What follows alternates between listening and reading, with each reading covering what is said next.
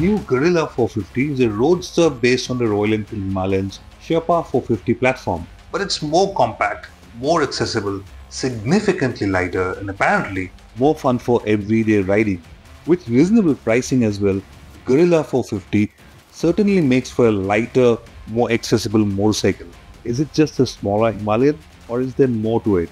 We spent a day riding the new Guerrilla 450 around the Spanish countryside to get a sense of what this new roadster offers. Hello and welcome to Car and Bike. We are in sunny Spain and we have the newest motorcycle from Royal Enfield. Of course, you've heard a lot about it. Mm. This is the Guerrilla 450. Yes, mm. based on the Himalayan 450 platform. The same Sherpa 450 engine, but there are quite a few changes. Slight chassis changes. Of course, you can see it's a more compact version it's a roadster after all, smaller 17 inch front wheel, it's lighter by 11 kgs and there are other changes on the throttle map and so on and so forth. But we'll talk about all that, how is it to ride. But before that, let's take a closer look at what all has changed. Guerrilla 450 strikes a handsome pose. Although based on the new Himalayan, its stance is distinctly different. That's because there are some significant changes to give it a different personality. With a smaller 17-inch front wheel, significantly lower 780mm seat height, and a shorter wheelbase as well. Face has an exposed look, although the headlight is the same unit shared with several other Royal Enfield models. The fuel tank is smaller as well. Overall, Guerrilla is not just more compact, but also a full 11 kg lighter than the Himalayan. So as you can see, the Guerrilla is a more compact bike than the Himalayan. That's primarily because of the chassis changes, which includes this 17-inch front wheel, much smaller than the 21-inch wheel of the Himalayan. Of course, the rake has sharpened a bit. And overall, you can see the bike is more compact, lower seat height, more accessible. Now to me, it looks like a roadster. That's what Royal Enfield terms this as a roadster. But uh, look at the block pattern tires, look at the stance of the bike. It looks slightly scramblerish, doesn't it? Looks are subjective, of course, but to me, it's a good looking bike, quite desirable. And according to Royal Enfield, this bike is intended to get in a whole lot of new customers into the Royal Enfield brand. Now imagine somebody walking into a Royal Enfield showroom with the intent of buying a Himalayan or one of the 350s. The Himalayan may be too big, maybe too intimidating, but this one lighter, more compact, more accessible, lower seat height. So that makes it possibly slightly more desirable than a Himalayan, which could be a little big and more intimidating for some people. Now, of course, a customer who's walking into a showroom with the intent of looking for a 350 or something from the Royal Enfield family will see this more performance, liquid cooled engine, and the newest model in the Royal Enfield family. That is the intent of the new Guerrilla 450 and to me it's a good looking bike but how is it to ride? How does it behave on the road? That's what we intend to find out today. So let's get on with it. First, let's look at the changes to the chassis, which is similar to the Himalayans but has a different steering geometry and slightly different subframe as well. On the suspension front, there is no upside down fork, but it's a telescopic fork developed with Showa and suspension travel has been reduced to go with the bike's street-oriented personality. Rear suspension travel is also limited at 150 mm.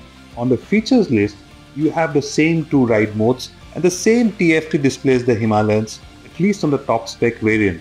And uh, when you sit on this bike, it's a more compact bike. Your seat height has gone down, so even if you're slightly challenged by height this one my reference my height is 5 feet 9 inches i can flat feet both sides pretty comfortably so even if you're 5 6 5 7 this is an accessible motorcycle which you won't feel very daunting and the seat is also narrow in the front. So nice upright riding position roadster. So same sherpa engine but there are changes in the fueling.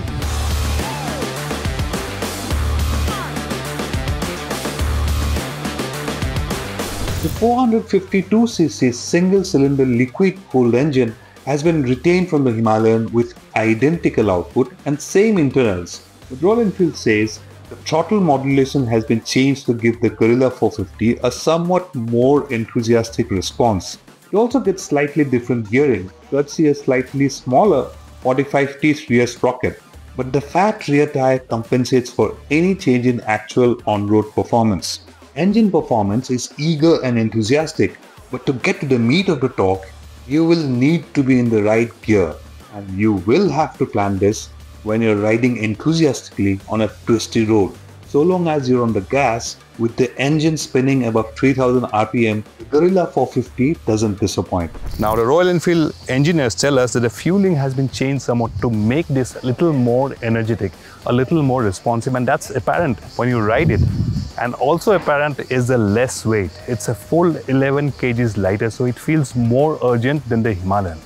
But what still remains is that you have a wide band of torque, yes, from 3000 RPM to 8000 RPM, where you get 85% of the 40 Newton meters of torque, but below 3000 RPM, you still need to downshift to get into the power band. So that characteristic, which we had mentioned in the Himalayan first ride, still remains in this bike.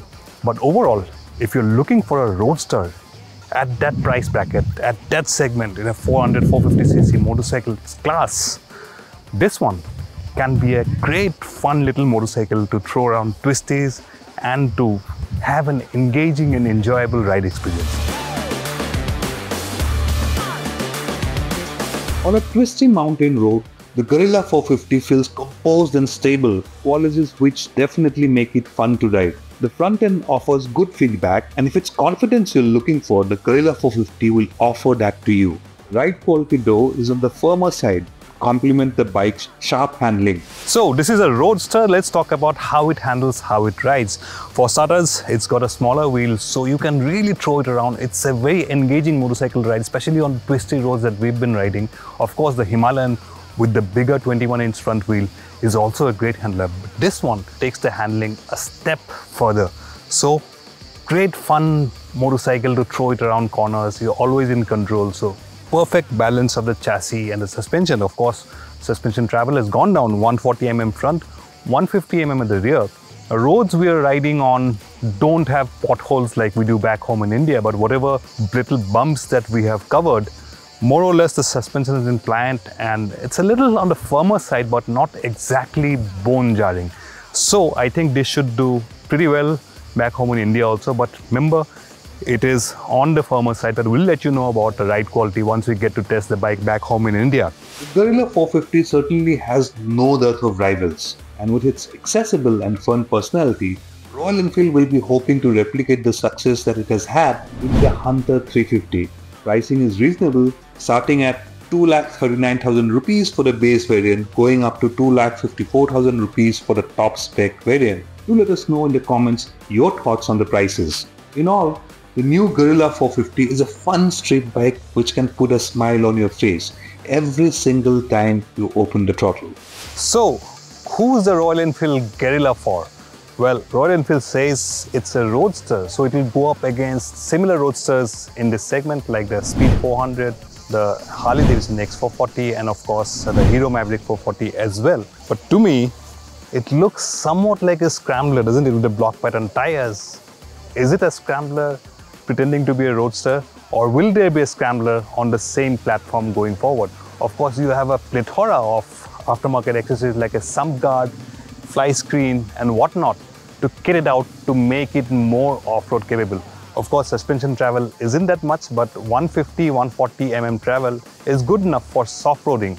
But if you're looking primarily at a roadster, again, it has to go up against the likes of the Triumph Speed 400. And to that end, this bike is definitely an enjoyable motorcycle, of course, but those small, small things remain. At below 3000 RPM, the punch of the engine just isn't there. And like the Himalayan, the Sherpa 450 still feels vibey, particularly at cruising speeds between 100, 110 kilometers per hour, which is where most of you will be using if you're going for long distance riding. But if you want a great handling motorcycle, this one definitely is an enjoyable motorcycle. And according to Royal Enfield, this will spawn a new genre of customers into the Royal Enfield brand. And I think to that end, the Guerrilla has hit it right on the head of the nail.